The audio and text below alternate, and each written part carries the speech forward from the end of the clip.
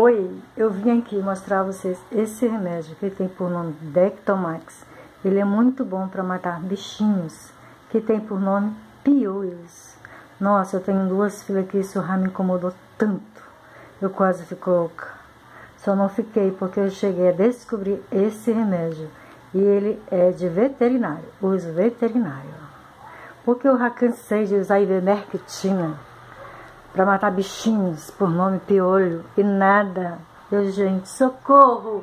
Aí Jesus me socorreu. Glória a Deus, ele me deu essa benção. Tequitomax, esse é um remédio. É um remédio que ele é a base de óleo. Então a gente usa em cabeça de crianças, 2,5 a 5,5. Eu usei, gostei e aprovo. Então eu assino embaixo será muito bom para suas crianças também.